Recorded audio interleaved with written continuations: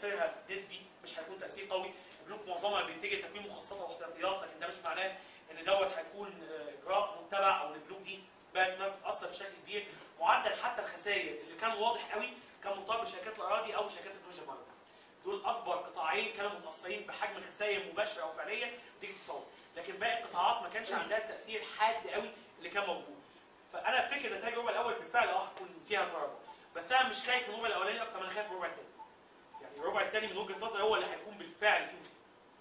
المشكلة هتكون إن في ركود اقتصادي بدأ يحصل. بدأنا نتكلم دلوقتي بشكل رسمي عن إن في مصانع بتنزل بدرجه الانتاجيه 50 و70% بنتكلم عن شركات بتسرح عماله بنتكلم عن تخفيضات. بنتكلم عن شركات مش قادرة تصرف المخزون الإنتاج التام اللي موجود عندها. أنا أفتكر إن الوضع هيكون أكثر صعوبة في الربع الثاني مش الربع الأول يعني الربع الأول. النتائج يمكن هتكون بالنسبة لناس كتير قوي نتائج تقليدية وعادية تراجع طبيعي في الأرباح في شركات هتبقى فيها انخفاض كبير لكن في الآخر النتائج هتكون منطقية نتائج الربع الثاني هي اللي بالفعل هتبدا تظهر فيها مؤثرات الأزمة بشكل أفتكر إن هو هيكون أكبر بكتير من اللي إحنا بنتكلم عليه دلوقتي. الحاجة اللي بعد كده ودي بقى أفتكر ده الجزء الثاني اللي كنت أتمنى حتى الدكتور سالم إن شاء الله يشاركنا فيه هو موضوع التنظيم التشريعي. جزء من الشغل بتاع اللجنة اللي إحنا بنتكلم فيه واللي بدأت الهيئة فعلا كان عنده رسمي اعتبار من الأربع اللي فات رغم إن يعني ما كانش المفترض إن ده يتم في المرحلة دي لكن ده حدث فعلا. هو الجزء المتعلق بتعديل تشريعي داخل سوق الملكه. تعديل تشريعي داخل فيه ثلاث حاجات رئيسية بدأوا فعلا اعتبار من ال 10 أيام اللي فاتوا دول يتم وضعهم قيد التنفيذ. الجزء الأول هو تعديل اللائحه التنفيذية لقانون سوق المال والتعديل ده هيتم اعتبارا من الأسبوع اللي جاي وهعلن عنه فعلا. التعديل هيكون هيشمل حاجتين. اولا تعديل لائحه صناديق الاستثمار بالكامل التعديل الثاني هيكون تعديل بالنسبة لقواعد الحوكمة. المتعلقه بالسوق ككل سواء بقى قواعد الاصلاح أو الشفافية أو الإجراءات المتعلقة بيها. في نفس الوقت هيتم تشكيل لجنة عشان من القانونيين ومن خبراء سوق المال. الهدف الرئيسي من اللجنة دي إنها تعدل القانون 95 كله اللي هو قانون سوق المال ككل. التعديل ده مفترض إن هو هيعكس أربع حاجات. اولا هيعكس تعديل لقواعد الاصلاح الشفافيه هيعكس تعديل لقواعد التداول هيعكس تعديل بالنسبة للجزء المتعلق بقواعد الشراء وعروض الشراء داخل السوق وهيعكس تعديل بالنسبة لموقف تعميل أجانب جوه ده جزء منه هيكون الأربيتراج جزء منه هيكون صناديق أوفشور جزء منه هيكون التسهيلات اللي بتقدم متعاملين أجانب جزء منه الرقابة المالية المتعلقة بيها جزء منه مكافحة غسيل أموال جوه السوق. بالاضافه لبعض التعديلات الثانية اللي هتتم في مشروع القانون. الحاجة بقى الثالثه ودي أفتكر اللي على ارض الواقع هتهم الناس كلها التعديلات المتعلقة سواء بقواعد القيد أو السوق. قواعد القيد بالكامل موجودة حاليا داخل السوق.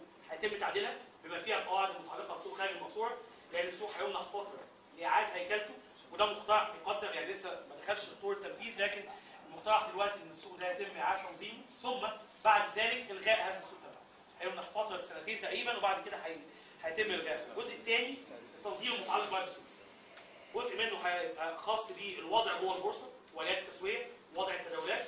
الجزء الثاني وده الجزء اللي أنا متخيل إن هو يجب إن هو يتم الاسراع فيه هو الجزء المتعلق بتشكيل مجلس اداره البورصة. آلية إنتخاب رئيس مجلس الإدارة. الآليات المتعلقة بانتخاب أعضاء مجلس الإدارة لأن هيتم الإقلال شوية من المعينين السماح بتعيين آه، ممثلين لجهات تانية ما كانش موجودة دلوقتي جوه السوق. جزء منهم هيكونوا مستثمرين جزء منهم هيكون الشركات الم- المقيدة جوه السوق هيتم رفع عددهم. جزء تاني هيزود عدد الشركات الوساطة الموجودة جوه المجلس. هيبدأ إن هو يسمح شوية بتكوين موضوع النقابة لو ربنا سهل إن شاء الله. وتم حله. أتصور إن هيكون في ممثل للنقابه جوه مجلس إدارة البورصة في الدور الجديد. فمشروع القرار الجمهوري اللي تم صدوره في يوليو 2009 اللي هو بينظم البورصة دلوقتي خاضع دلوقتي كاملا للمراجعه. فالأمر بالنسبة لموقف التشريع أتصور إن هو هيكون كامل لأن ما بقاش دلوقتي اختيار.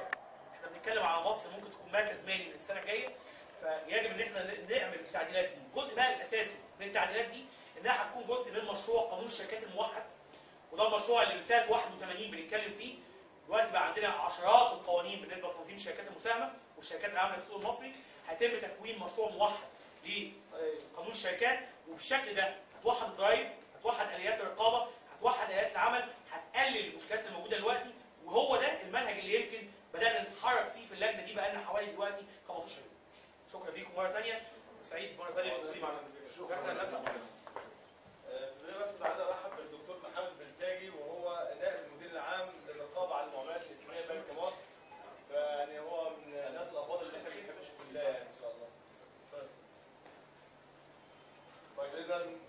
الثاني ننتظر على حر من الجمر. لنرى رفعات هتفضل قاعد لغاية ما أنا قاعد. لو قاعد بقى لكن هل مصر كل هذه التداعيات هتتأثر سواء على تصنيفها الدولي؟ هل نحن نرضى لما حدث في اليونان مثلا ولما انخفض تصنيفها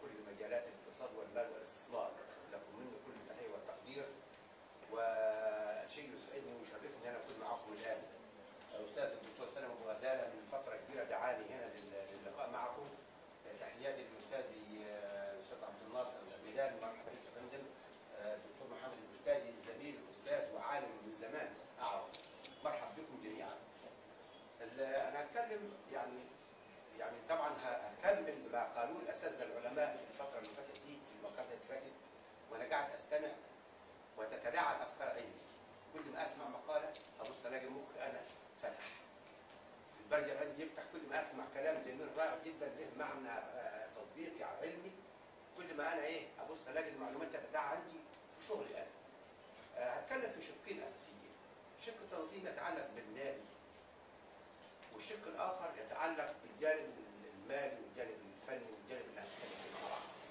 الجانب التنظيمي أي عمل يبدأ لابد أن يكون له أساس.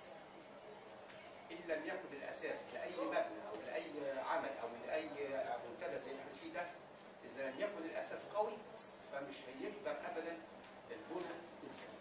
الأساس اللي يتعمل هنا لابد إن أنا يكون عندي قواعد معلومات اساسيه، قواعد بيانات متكامله. اول قاعدة معلومات تتعمل لهذا المنتدى هو البيئه هي البيئه التشريعيه اللي بيشتغل فيها الاقتصاد بتاع البلد دي أو العرب كلهم. البيئه التشريعيه التشريعات والقوانين والنظم واللوائح التي تحكم الشركات والهيئات والمؤسسات لابد ان يكون هناك فريق عمل جروب يجمع البيئه التشريعيه كلها بالكامل القائمه المطبقه الان لأن ما أقدرش أنا اطور في البيئه التشريعيه بتاعتي الا اذا كنت أنا قافل امامي التشريعات القائمه اللي بتحكم النظام المالي والاقتصاد والاستثماري والشركات والبورصه اللي موجوده عندي. النقطه الاساسيه الثانية ان آه، ان ان ان ان إن ال- قواعد المعلومات دي لازم تكون متكامله، ما ينفعش اعمل بيئه تشريعيه ولا بيئه اقتصاديه ولا بيئه لازم تكون متكامله كامله بحيث ان أنا أضع قاعدة قواعد أساسية أشتغل عليها. ال- الناحية الثانية الأساسية اللي أنا عايز أتكلم عنها أنا بشتغل في الاقتصاد المصري أو أتكلم عن الاقتصاد العالمي كله مش كده ولا إيه؟ الثورة اللي بدأت الآن حاليا في مصر هنا والأحداث اللي الثوره الثورة المصرية اللي بدأت في 25 يناير وما قبل كده في تونس واللي حصل الان في اليمن واللي حصل الان في ليبيا ده كله يا اخوانا بيأثر على جميع الاوصاف في المنطقة العربيه كلها وبيأثر على الوضع الاقتصادي كله لا تنفصل ابدا المنظومه دي ال information matrix دي كلها بتأثر على الوضع الاقتصادي. حاليا في الوضع الحالي نحن في غيبوبة جميعا. في غيبوبة لا ندري الخراب الاقتصادي اللي حصل في بلادنا. هذه حقيقة. طبعا أي ثورة زي الثورة المصرية في تداعيات لها إيجابية وسلبية لا لازم ضروري أي تصليح أو أي وضع يحصل آه، بالإضافة إلى الأحداث اللي بتحصل في في المنطقة حوالينا النقطة الثانية اللي أنا نازل أتكلم عنها لما أجي أتكلم عن عن البورصة عن البورصة المصرية أنا الوقت واحد مستثمر جاي يجي لي واحد مستثمر جاي لي الآن يقول لي أنا عايز أستثمر في الشركة دي أو في البورصة دي الراجل هفترض إنه ما إنه بيجيني عايز استشارة أول شيء أعمله يعني يمكن أستاذنا الفاضل آه، اللي كان بيتكلم الآن من أستاذ الفاضل آه الاستاذ محسن قال لك إني لا يصلح إن أنا أبدأ أحلل بالنظام التقليدي. أنا حتى حتى قبل الأحداث دي. يا اخوانا في دلوقتي أساليب مستحدثة في عملية التقييم. عملية التقييم المالي النهارده في سواء في البورصة أو في التصنيع أو في قيد منشأة صناعية أو منشأة تجارية لم يعد الاسلوب التقليدي بتاع إن أنا أعمل آه، الأصول على الخصوم والسيولة مش عارف إيه الكلام ده. كله الكلام ده راح. أنا درسه بالطلبه في ثانوي. إنما الآن لما يجي مستثمر بيقول أنا عايز أستثمر في الشركة أنا بمسك هبدأ الأول ببساطه شديده بعمل إزاي؟ بمسك الوضع المالي للمؤسسه دي كله وضعها المالي ككل وامسك وافكه حتة حتة امسك قوائمها الماليه على كذا سنه بقوائم التدفق النقدي بتاعتها الفعلي القائم اللي موجود وابدأ أفك وابدأ أعمل ب- بأسلوب مستحدث بنعمل إزاي بقى في الأسلوب الجديد الحديث. بمسك القائمة الماليه دي ونقسمها ثلاث مناطق منطقة استثماريه من فوق لها تحليل لوحدها منطقة جارية في الوسط ومنطقة العمليات الأخرى تحت. بمسك افكها فك كامل. وأمسك أشوف الهيكل المالي بتاع الشركة دي القائمة الان حاليا رأس مالها إيه؟ إيه اللي بيدعم رأس المال من احتياطيات ومخصصات والكلام ده أنتوا عارفين اساتذه علماء في الكلام ده وبعد كده أشوف اللي هي بنسميها حقوق المساهمين مش كده ولا إيه؟ في جانب اخر الاقتراض من البنوك أشوف الكلام ده ماشي إزاي وأخد الكلام ده وأشوفه ماشي إزاي وأبدأ أطبقه على جانب الأصول القروض اللي خدتها دي والكلام ده كله بشتغل بيه فيه في ال high technology تقنية عالية ولا medium ولا تقنية متدنية وابدا ده مرات تطلع بنسب تحليل مالي عالي جدا ممتاز جدا لكن الشركة بتشتغل في ال low technology هل ينفع الكلام ده؟ هل لها اسواق محتملة دي؟ هل لها أوضاع مستقبلية محتملة؟ أمسك الوضع الاقتصادي بتاع الشركة. لازم أحلل الوضع الوضع المالي أحلله على ذلك واخد الوضع الاقتصادي بتاعها التجارة الدولية بتاعتها أسواقها المحتملة التقنيات المس- هتطور نفسها تقنيا ولا لأ؟ في تحديث وتطوير ولا ما فيش في الشركة دي. ولا يا جماعة قاعدين يشتغلوا بطريقة عشوائية يقول لك أيوه.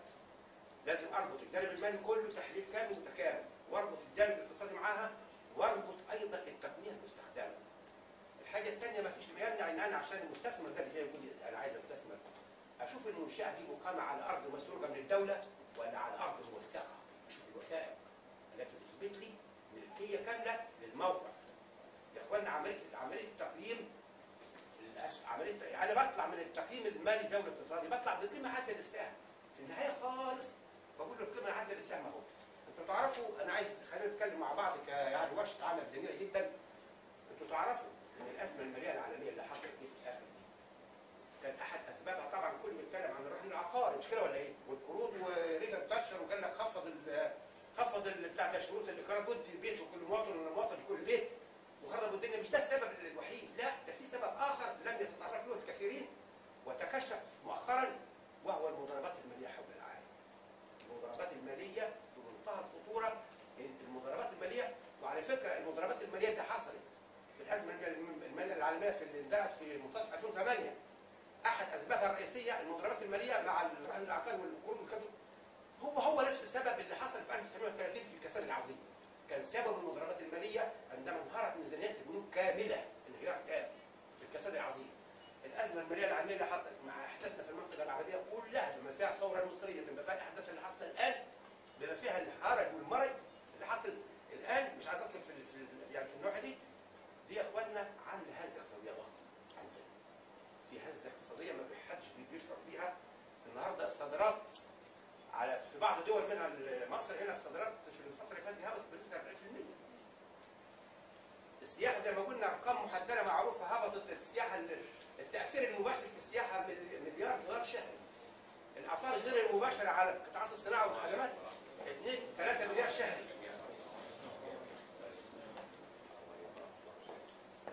النتيجه النتيجه ان فيها عجز في الموازنه دلوقتي اضطرت الوزير الماليه يقترض من السوق باسعار فايده عاليه. يعني في ازمه وال وال وال و- و- و- و- وعمليه التقييم المالي وعمليه التقييم الاقتصادي والتقييم الاستثماري لازم اربط يا اخوانا في حاجة مهمه جدا. لازم ادرس ال- ال- القطاع المالي والقطاع المصرفي والقطاع الاستثماري والاقتصادي من خلال حاجة بنسميها ال information matrix.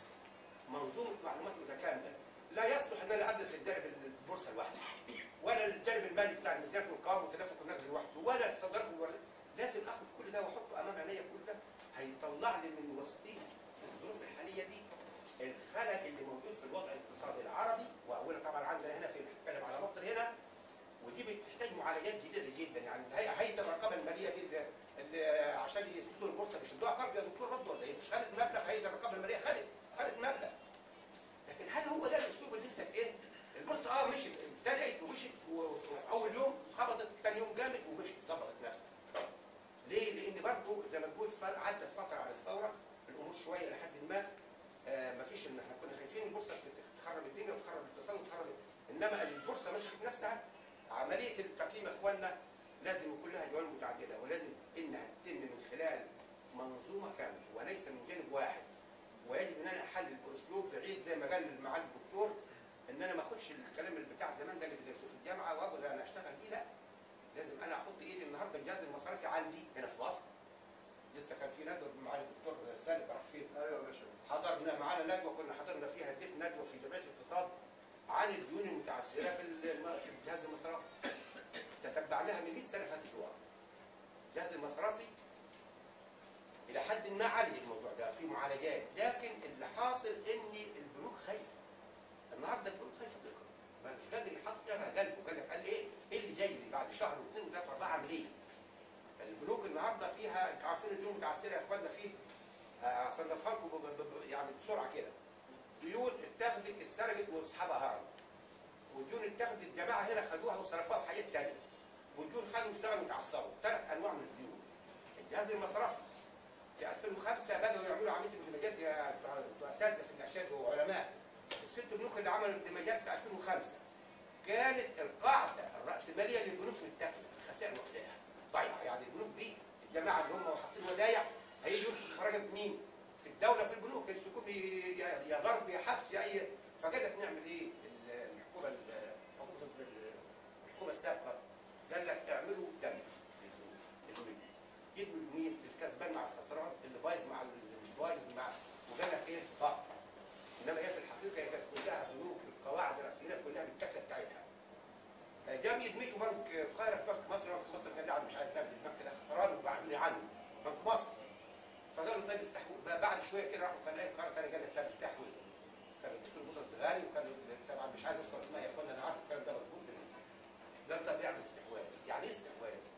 يعني عمليه بيع اشتري حددوا كنتم 6 مليار وهو عليه ديون 14 مليار شوف المصيبه السوداء بس وخدوا بنك مصر بالقهر بالقهر خدوا وعنده مصيبه دلوقتي الديون المتعثره بتاعت بنك القاهره هي اللي معديه زي بنك مصر الان يا اخوانا المساله محتاجه تقييم تقييم ائتماني مصرفي مالي استثماري اقتصادي كله على بعضيه. والموضوع محتاج يعني آه، يعني محتاج آه، نتكلم فيه كتير جدا لو مسكنا موضوع بس البيئه التشريعيه شوف قوانين الاستثمار الاجنبي المباشر شوف من إمتى؟ من القانون بتاع سنة 54 اللي هو بتاع 56 ولا 54 قانون اولا الشركات المساهمه الاولاني خالص. اتغير وجو بعد كده كان قانون وقانون هذا من القوانين بتحكم الاستثمار الاجنبي المباشر والشركات المساهمة زي ما قال معالي الدكتور محتاجين قانون يجمع الشركات المساهمه الان حديث ومستحدث النقطة الأساسية ان الاستثمار الأجنبي المباشر اللي بيجي هنا آخر رقم جاني في آخر سنة في 2008 اظن ولا في 2009 كان في 2008 آه، في 2007 كان 11 مليار. 2010 8 مليون و2010 8 مليار. لما دي وزعناها على القطاعات الاقتصادية لما خدنا 8 مليار دي نوزعها على القطاعات الاقتصادية. لقينا اغلبها في التانيين ما يجيبوش يا إخوانا الاستثمار الأجنبي المباشر. يعني برضه ما زلت أقول أنتوا اساتذه علماء أنا لما بجيب استثمار اجنبي مباشر من بره أنا بجيب فلوس أنا مش عايز فلوس أنا عايز تقنية. أنا عايز استثمار يصاحبه تقنية عالية المستوى زي ما عمل ماليزيا وعمل معتمد محمد وخلى ماليزيا فوق 15 دولة أوروبية في التصنيع. وزي ما عملت الصين يا إخوانا حرب العملات ساركوزي راح زار الصين من ثلاث أربع أيام ورجع من هناك قال لك حرب العملات هتبقى من جديد لكم منه كل شيء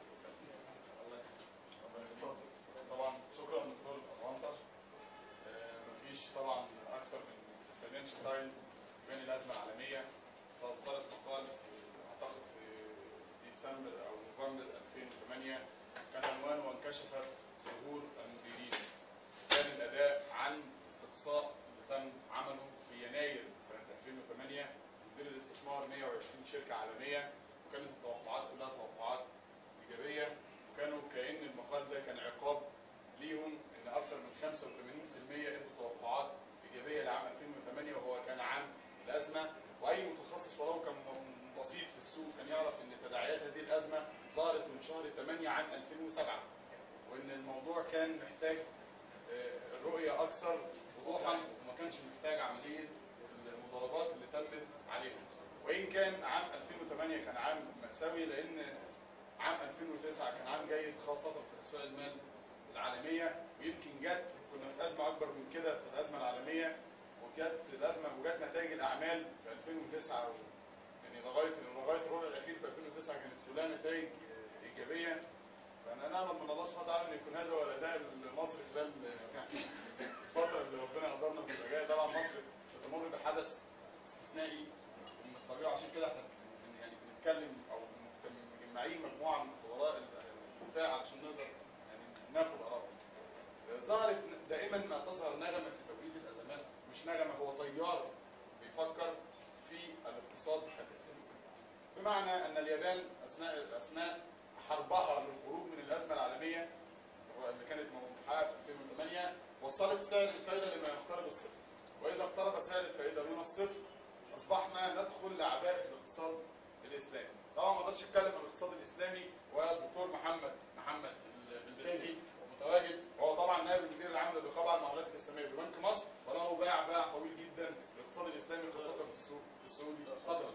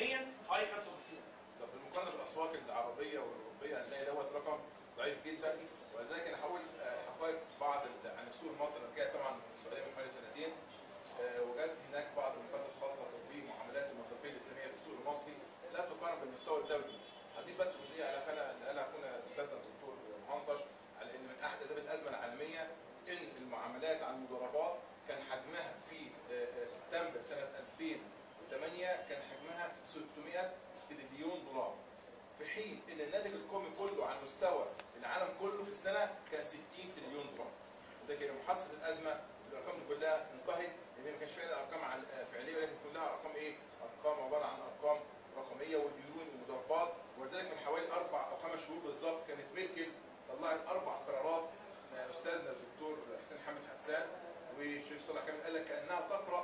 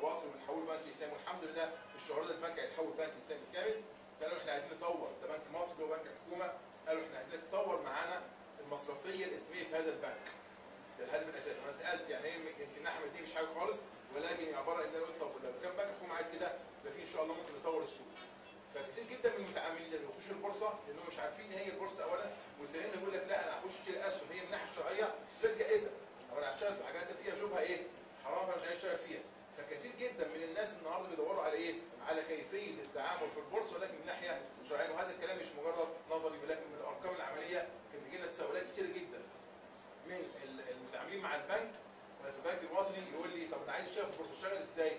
إذا عارف في البنك الوطني حاجة كويسة جدا من إحدى الشركات يقول لك يا محسن إن إحنا عملنا تصنيف لحوالي 120 أو 115 شركة في السوق مسجلين اللي عليهم كده وطلعنا منهم إيه الشركات الحلال وإيه الشركات اللي أنت ممكن تعيش فيها لانها حرام وفي الشركات المختلطة اللي ممكن فيها بعض الإيه الشبهات وصلنا إن إحنا عندنا في السوق النهارده عندنا حوالي آخر تقريبا عملته من شهرين 50 شركة ممكن الناس يتعاملوا فيها على الامر. أحد الشركات اللي يمكن آه، تداول الأسهم المالية في السوق المصري كانت عاملة آه، مؤتمر أو يعني زي ما بنقول منتدى من حوالي سنة وكان في أحد الشركات جارانتيه أو حاجة فكانت أعلنت كده عنها إن هي إيه كيف ندلك على الاستثمار في الأسهم إيه الشرعية.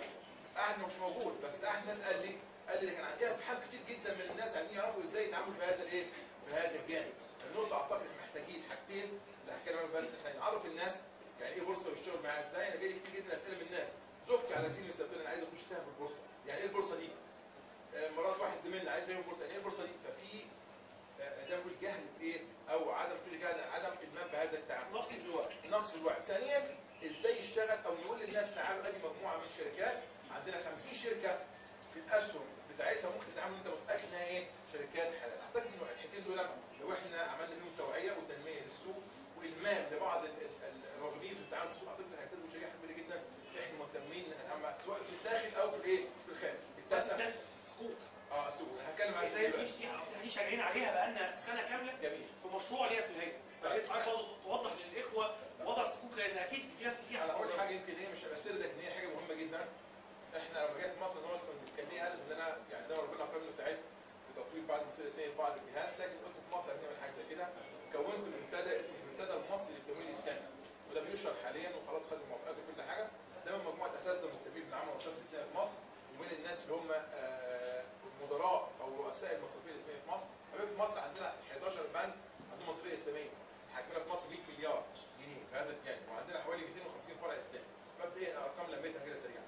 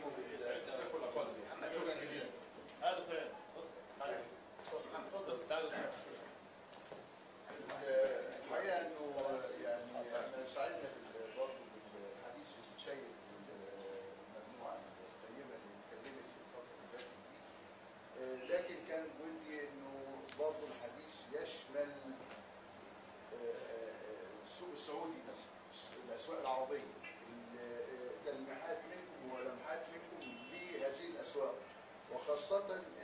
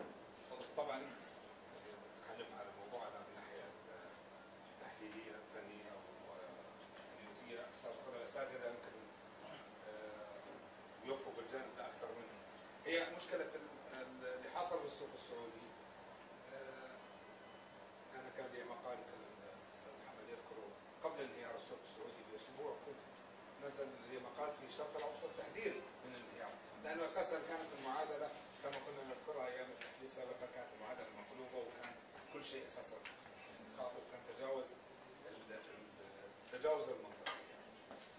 حصل ما حصل وهبطت إلى أقل من 4000 تقريبا شوي. تصادف المشكلة في التوقيت هنا إنه أثناء الارتداد وأثناء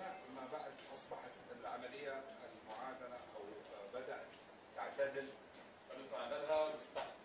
لا هي أثناء نهوض نهوض الرجل المريض كان اصطدم بالأزمة المالية العالمية فاثرت عليه ولا يزال لا يزال يعاني. إنما أيضا لو آه حصلت لنا عملت له نكسة.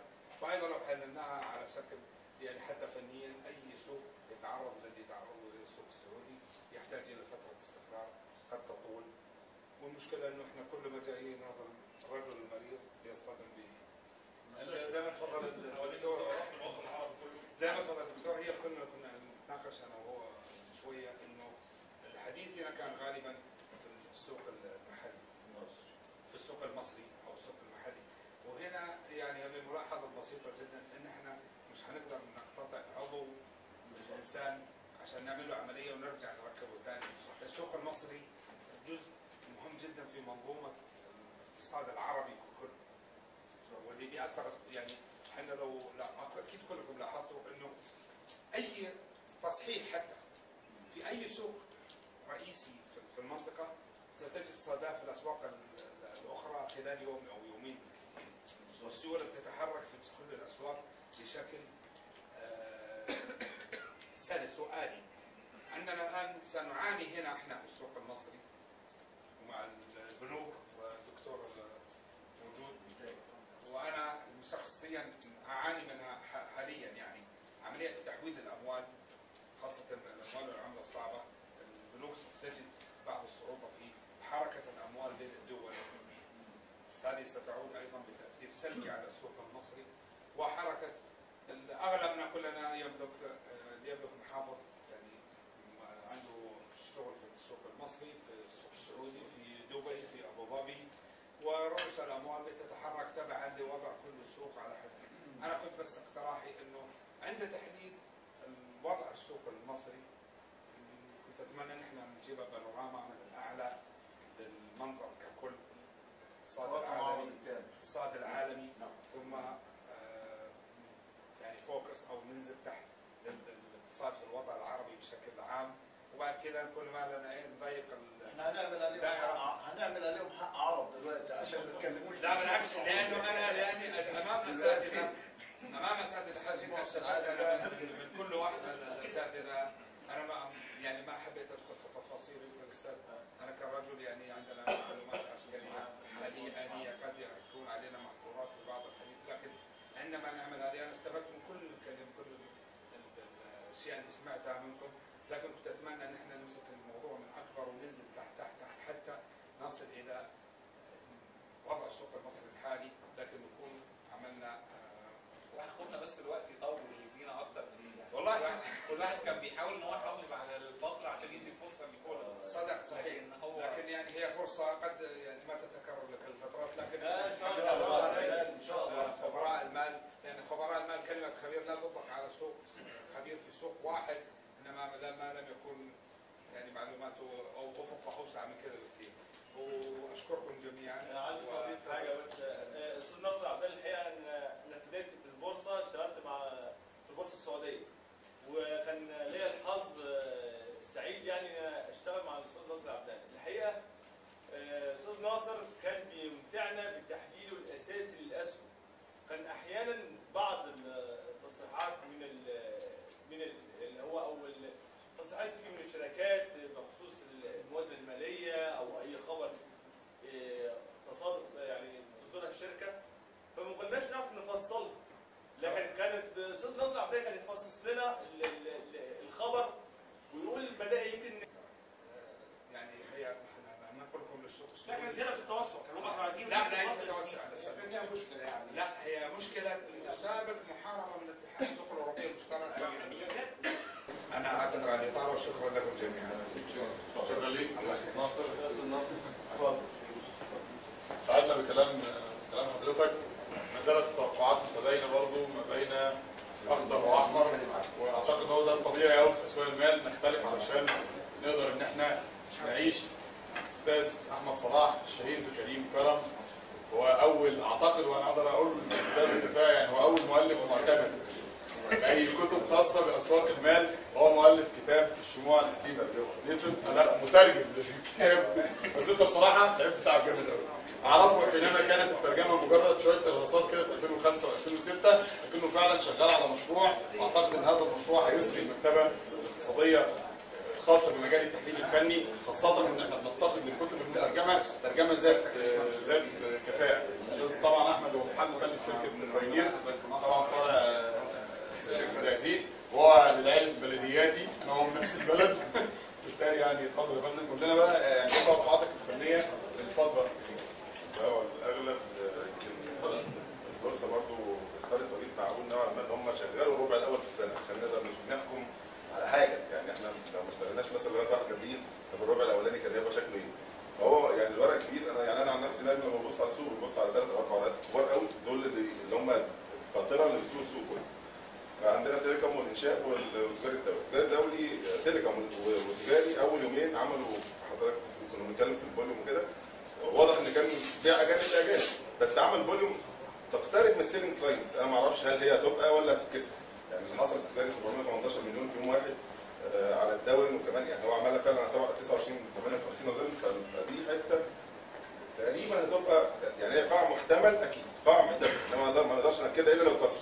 يعني لو كسرت خلاص ده الكلام ده لازم. إنما هي التليكوم برضه في 326 عملت نفس الحركة تقريبا بدأت 326 وبعدين 389 برضه ب 58 مليون اظن يومها. فال- فال volumes العالية دي في في المنطقة دي بتقول إن إحنا بس ده برضه على ال short term يعني يعني إن إحنا شفنا بعض هل هيتكسر برضه في ال short term ولا لأ؟ لسه مش باين. بيحصل كويس بس أنا متخوف من حاجة. السوق المصري في موضوع الاتصالات مصرية الاتصالات دخل كميه فلوس غريبه يعني الناس كانت كلها وهي هي كانت فلوس غير رشيدة. يعني الناس داخلة تشتري فرحه يعني الناس يلا إيه كله بيكسب في الكتابات نخش كتاب فاللي حاصل دلوقتي يشبه نفس الموضوع. الناس داخلة تسند البلد ده حلو ووحش. يعني حلو في الجانب النفسي إن الناس داخلة كويس إن نلحق البلد وكده. إنما الناس اللي يعني يعني جوه السوق مش ملايكة. هيلاقوا قوة شرائية جامدة وداخلين جامد نشتري نشتري نشتري. طب طب هل السوق هيكمل لفوق؟ الناس دي الناس اللي في الأفكار يعني الناس الأفراد الكتير دول هيقدروا يرفعوا السوق لفوق؟ أنا ما أعتقدش. يعني وخصوصا بقى إن ممكن الموضوع يتعمل على نقطتين. إحنا دخلنا يوم أول يوم تقريبا أول 13 ثانية كله مدون فالنفسية العامة أول نص ساعة وحشة جدا. بعد كده بعد خمس أيام طالع لفوق.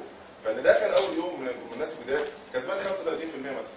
ال- ال- الراجل اللي داخل عشان يسند البلد هيلاقي نفسه في ثلاث أيام كسبان 35% ففكرته بقى في يسند البلد دي بتتلغي خالص بتحول من مستثمر ناوي يحط فلوس ويمشي لواحد بقى بقت لعبة. هنخش إيه؟ كل كل ثلاث أيام. هو بيحسبها كده. واحد في ثلاث أيام عمره ما شافها. 35% في ثلاث أيام عمره ما شافها. فدماغه هتتغير تماما. ودي مشكلة. الموجة الأولانية مش والأغلب المشاكل كبيرة. لأن طبعا الناس اللي جوه السوق اللي عايزين يخرجوا لازم يفرحوا اللي داخلين دول. أنا داخل أنا لو معايا مليون جنيه هخش حاسب شوية هخش ب 100000 ومعايا 900000 بره لو كسبت فيهم 35000 هجيب ال 900000 اللي بره. وهي دي لحظة نزول السوق اللي أنا قلقان منها. يعني دي اللي أنا قلقان منه إن يحصل صعود هو استقرار هنا حلو. يعني استقرار في المنطقة اللي إحنا فيها كويس. انما يعني أنا مش بتكلم فني قوي أنا بتكلم نفسي أكتر. لأن الحاصل في السوق برضه إحنا في ظرف استثنائي شوية. ما نقدرش نتكلم فيه يعني فني بالشكل اللي يبقى مضمون إن الكلام صح يعني. إنما يعني مثلا على الشهري التجاري الدولي عامل doji بشكل كويس ممكن يسندوا فوق السعر بتاعه بس طبعا كل الربع سنة وحش. ما عدا يمكن تليكوم. تليكوم الوحيده في الورق المهم الربع سنة الربع سنة بتاعها كويس. يمكن الانشاء والصناعه في 2009 كانت عملت نفس الحركة وهي أول ورقه لفت في السوق لفت السوق كله. انما يعني تيليكوم طبعا فكرة ساويرس إنه يخش بزيادة رأس مال مرخص بيه 7 مليار. الفكرة أعتقد ان هي عبقرية لأن معظم الناس اللي داخلة بتسأل على الراجل ده تحديدا. آه، سهم تيليكوم بكام سهم تيليكوم بكام فهو قال طيب كويس في ناس داخلة عليا أديهم بقى الأسهم. فبرضه امتصاص السيولة اللي جاية وعقلين عقلانية السيولة اللي جاية. وفكرة إن شركات تداول قعدت شهر ونص ما بتشتغلش فمحتاجة